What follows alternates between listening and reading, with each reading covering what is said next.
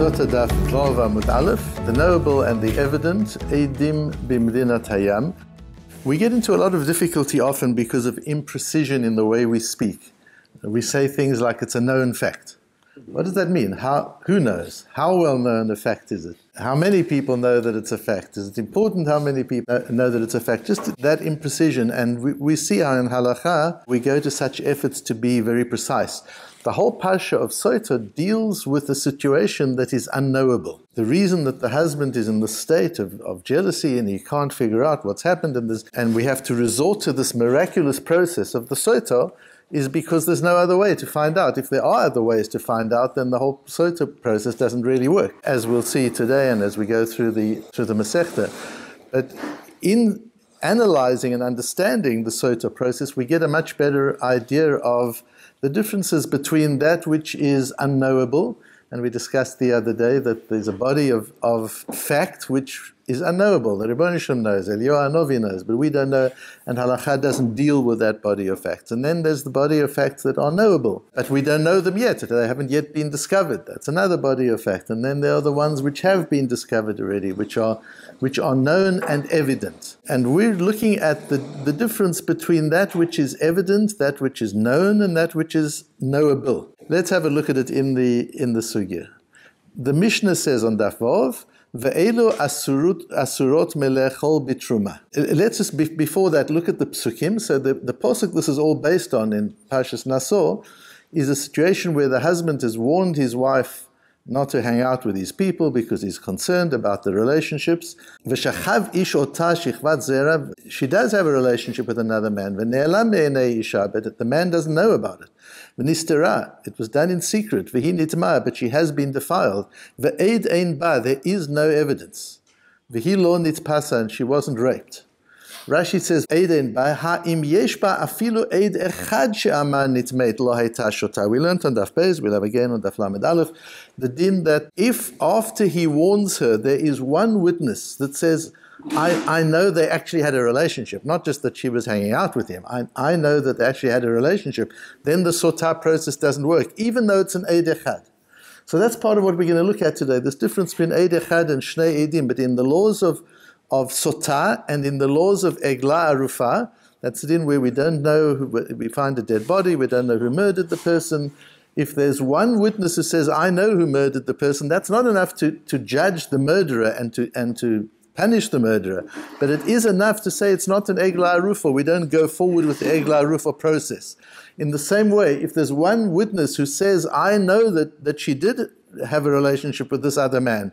That's not enough to judge her as an adulterer, but it's enough as adulteress and, and, and punish her as such. That isn't enough, but it is enough for the sota process not to start, even though there's only one aid. The, the sota process wouldn't work because the sota process only works when it's unknowable, when there's no way you can have any any knowledge. So, that, so we see that the knowledge of one witness is considered knowledge even though it's not actionable knowledge, but it is considered knowledge. And therefore Rashi says, Afilu edechad shaman nitmed shotash, then the sota system didn't work. We've got, we need two witnesses that she was alone with another man. But we don't have witnesses as to what happened while they were alone. We only have one witness that says, I was, I was peeping and I could see, I know exactly what happened. It says our Mishnah. These are the cases if the man is a Kohen and the wife is, becomes a Sotah, she can't eat of his truma. How If she admits, she says, "Yeah, I, I, did. I did have a relationship with this man." So now, no, the sota system will no longer work. She's made an admission, so we have some knowledge. Or witnesses come and they say that she was tmeya. We, we saw, we know that she was actually defiled. Or she refuses to drink. Or her husband doesn't want her to drink. In any of these cases where the system of sota is not instituted, she is in this suspended situation where she can't eat from his truma. Or that he had relations with her after all of this in the way. The one we're concerned with right now is Bau Edim Shehi. Witnesses come and say that she is Tmeah. So then the Gemara goes on, an, an amazing Gemara. Rav Amram says in the name of Rav Sheshet, and he brings a proof from the Mishnah, that Sota Sheyeshla Edim Bimdinat Hayam Ena Mayim Bodkimota if there are witnesses far away in another country, overseas, there are witnesses that she actually had relations, but they're not in Din. So there's no evidence in Din. That we just know that there are witnesses somewhere in the world who were present and saw exactly what happened. Then the then it doesn't work. Then she doesn't have drink of the sota water. My time edomakro v'nistera v'hi nitma v'eid ein ba. If you look at the words in the Pasuk, it says, V'eid ein ba, there is no witness. Doesn't say that witnesses didn't come. There is no witness. But if there was a witness, even if the witnesses haven't come to give evidence, then she would not go ahead with the sota. Whereas in this case, there is somebody who knows about it, and therefore the sota wouldn't work. And he proved it from our Mishnah. One of the cases is witnesses come and they say she's been defiled. Da to edim emat. When did these witnesses come? If the witnesses come before the whole sota thing even takes place, witnesses come to Beis Din and they say, we saw, we know that she was defiled by another man, then she says, oh no, then she has the din of an adulteress. So that's not what we're talking about. Elalabata de Chateau, we're talking about a case where she drank from the water and nothing happened to her. She passed the test. Then witnesses come and they say, ah, but we know that she was mitama. Do we go by the witnesses? Do we go by the miracle? If you say water doesn't work if there are witnesses, then we will say, so the witnesses come and say she did commit adultery, but she passed the test. Ah, she passed the test because there were witnesses. You see from here that if there are witnesses, even if uh, even though the witnesses haven't yet come to Beis Din, the test doesn't work. So we invalidate the test because there are witnesses, right? So, so, so because you've got two opposite things. The witnesses say she committed adultery. She passes the test. She drinks the sota water, and nothing happens. So who do you believe? The test or the or the uh, the witnesses? Says says Rav Sheshes clearly the whole discussion is because we could say the, the test was invalid. Why was the test invalid? Because there were witnesses. You see from here that the mere fact that it is known by somebody somewhere, even though it hasn't yet brought to Din, makes the test invalid. The whole system of Sotah isn't isn't initiated. It doesn't even start. So we've got the Tosfos here. Mesapka le Rebbe. My Rebbe asked the asked the following question who's the Rebbe? So I've explained to you that the Tosfos on Sota is from the German school of Tosfos, whereas up till now we've mainly learned the French school of, of Tosfos. The French school is from Rashi, the Ri, Rabbeinu Tam. In Sota, it seems that the Tosfos is the German school, which is from Speyer was, was one of the big places, Mainz, Magenza, Worms, that was the area of enormous Jewish knowledge, in, uh, Torah knowledge during the medieval period. It wasn't far from France, so there was a lot of communication. But they had a different approach in their, in, in their Tosfos, and we'll understand some of the differences between the French approach and the, and the German approach. But the Rebbe here, it seems that the Tosfos on Sota was written by a talmid of Rabbi Yehuda ben Kalonymus. The Kalonymus family was an incredibly important family in Speyer. At the time, the 10th, 11th, 12th century, they, they were there. They came from Italy originally. Very, very authoritative. And when he says Rebbe, he's talking about Rabbi Yehuda ben Kalonymus. And he had the doubt. Idafke nachat edim shnayim aval ed echad lo mehemen shishata kodim shishata echad. We know that if, before she drinks, if one witness says she was committed adultery, the SOTA system won't work. We know, even if it's only one witness.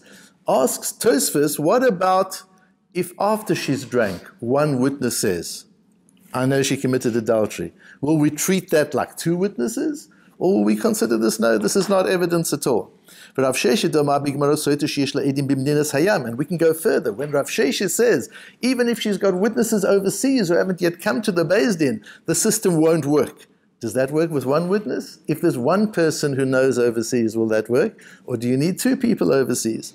And Tosfos goes through the reasoning and comes to the conclusion further on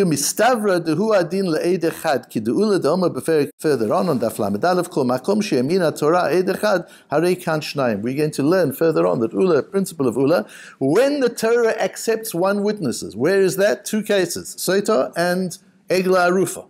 When the Torah accepts Eid Echod, it accepts it with the full power of two Eidim. So again, the Torah won't accept Eid to put her to death because she committed adultery, but the Torah does accept Eid one witness, to invalidate the sota process. She's not a sota. A is somebody who's in doubt. We don't know what happened. He warned her, she hung out with the person. We don't know what happened there. If one witness does know what happened there, although that's not actionable, she's no longer a sota. She's much worse than a sota. She, she's no longer in that, in that state of safek. The Rambam says in Hilchot Sota, if one witness comes and says she's tme'ah after she's drank, harezu teshev tachat bala. She's drunk and she passed the test. One witness comes and says, but I know what really happened. Who do we believe? The test or the aid? The nafkimina, can she go home with her husband? Can she still live with her husband? Says the Rambam, she can live with her husband because she passed the test. Says Reb Chaim, you see from here that the test works if one witness knows. What did Tosfos say? One witness is like two witnesses. If there's one witness in Iceland who knows what happened, the water won't work, the test won't work. That's what Tosfos wants to suggest. Reb Chaim proves from the Rambam that the Rambam holds if one witness knows, that already invalidates the test. The test isn't going to work. Reb Chaim then goes into a beautiful analysis which you can look at if you, if you have the time, explaining the difference between one witness in the case of Sota and one witness in the case of Egla Arufa. And the principle is, he says, with the one witness in the case of Sota, Tosfos says one witness is like two witnesses. It makes a difference. The Torah says one witness works, it works as good as two witnesses. The Rambam doesn't say that. The Rambam says when one witness comes to Beis Din and gives evidence, then it's like two witnesses. But until one witness comes to Beis Din, it's nothing. However, if two witnesses in Iceland know what happened, then it's not nothing.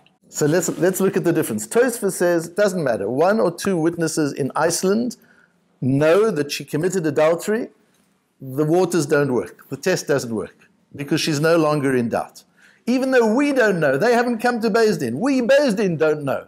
But it is known. There are people in the world who know the truth.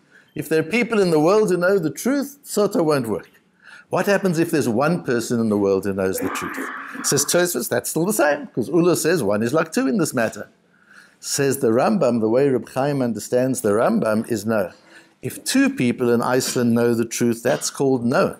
If one person in Iceland knows the truth, that's not yet called known. This is a beautiful piece of, of Rambam and Reb Chaim and, and, and worth spending some time on. But for the purposes of the Matmon, it's important to, certainly as far as the Rambam goes, is to understand the difference between one and two. Can you think of any other case where there's a difference in level of knowledge between if one person knows something or two people know something, where there's, where there's a big nafkamina. So it's in the laws of Lashon Hora, right? If, if, if something is, is known by one person and you spread it out, is that known? If it's known by two people, the difference between one person and two people is when one person knows something, it's not yet known.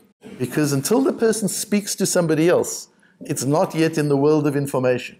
It's in somebody's head. And as long as something's in somebody's head, the Rambam holds that's not yet known. Tosfos holds it that's known. If it's in one person's head, that's called known, and she's no longer a sota, she's no longer a sofek. There's, there, there's a person in the world who knows. The Rambam's view would be a person in the world who knows is not, know, is not known knowledge. It's in a person's head. But once two people know, that's, that's information. That's now known in the world. That's completely different because when two people know, they talk about it, They've talked to each other about it already. Once two people know it's already it's a, a, crowd, it's out there. If you take somebody in your, into your confidence, there's a chance that it stays confidential. If you've taken two people in your confidence, don't treat it as confidential anymore. It's, uh, the, the chances are once two people know it's, it's out. That's what we see from here. There's a difference, there's a quality, according to Tosfos, even if one person knows it's out. According to the Rambam, there's a qualitative difference between one person knowing something and more than one person knowing something. Uh, and that's why in the world of, uh, of social media and the digital wor- world in which we operate, you've got to assume that anything you've written digitally is out. You, you can never assume, no matter how many confidentials you write on it and, and how carefully you, you file it somewhere, somewhere away, once something is knowable, once it's accessible, and if two people know something, says the Rambam, it's accessible. Two people know something, it's out there. According to Tosfos, even if one person knows it, it's accessible. Once information is accessible, it's public knowledge. You've got to assume that it's, that it's public knowledge. And that's something that people are finding difficult. Those people who deal with it every day are, are, are adjusting to it. But the ordinary person is finding it difficult to understand that if you want to communicate something confidential, there's only one way to do it now, and that's to make an appointment with the person and see the person outdoors, like Yaakov did with Rachel and Leah, take them out into the field, because you don't even know in a room what, what microphones are there and what computers are on and what cameras are on. You don't know. You've got to take the person out. If you want it to really be confidential, you've got to take the person out, and it can only be one person. If you've taken two people out into the field and you've taken two people, it's already, it's already public knowledge.